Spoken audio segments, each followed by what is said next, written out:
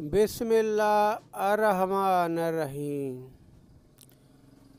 अबलीस की हकीकत।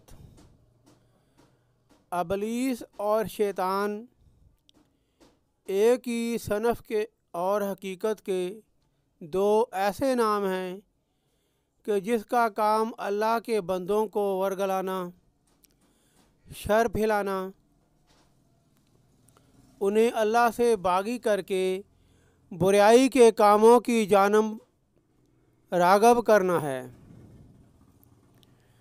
यह इंसान का वो अजली दुश्मन है जो क़्यामत तक इसका पीछा नहीं छोड़ेगा।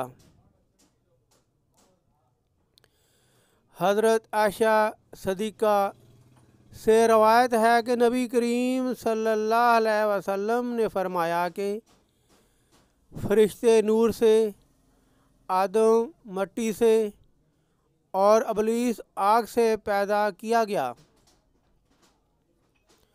हज़रत अब्दुल्ला बिन उमर फरमाते हैं कि जनात हज़रत आदम से दो हज़ार साल पहले से दुनिया में आबाद थे, जिन्होंने दुनिया में दंगा फसाद मचा रखा था।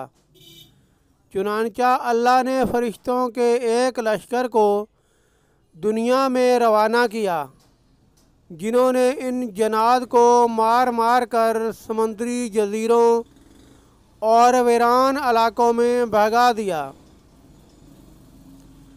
हज़रत सईद बिन मंसूर का कौल है कि इस मौके पर बहुत से जनात कत्ल किए गए और कुछ गिरफ़्तार भी हुए।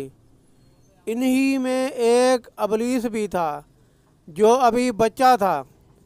इसे आसमान पर लाकर रखा गया। ये फरिश्तों के साथ अबादत में मसरूफ़ हो गया। और बहुत जल्द अलूम का माहर और अबादत गुजार बन गया। चुनानचा इसे आसमानों में मुअल्लम अल मलकूत का नाम से पुकारा जाने लगा।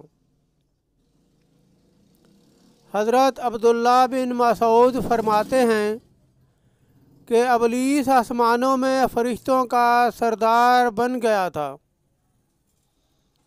हज़रत इमर अब्बास ने फरमाया कि अबलीस का नाम अजाज़ील था। सूरत कफ आयत नंबर पचास में भी अल्लाह ने फरमाया कि अबलीस जनात में से था।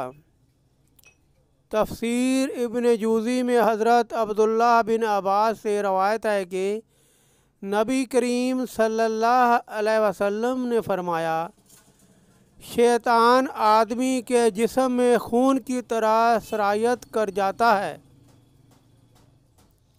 बंदे का दिल इसका ख़ास ठिकाना है।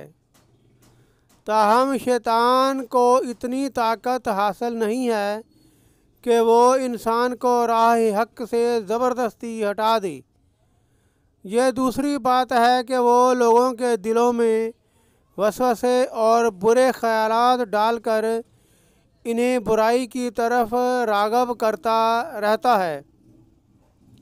और यही बंदों का इम्तहान है। प्यारे दोस्तों, ऐसे ही ईमान अफरोज़ वाक़ सुनने के लिए मेरे चैनल को सब्सक्राइब करें, लाइक और कमेंट्स करें। इन ताला ऐसे ही ईमान अफरोज़ वाक़ात आप दोस्तों के लिए लेकर हाज़िर होते रहेंगे नित एक नई वीडियो में। तब तक के लिए अपने दोस्त को दें इजाज़त। अल्लाह हाफिज़। अल्लाह निगहबान प्यारे दोस्तों इन ताला दूसरी वीडियो में ज़रूर मिलेंगे।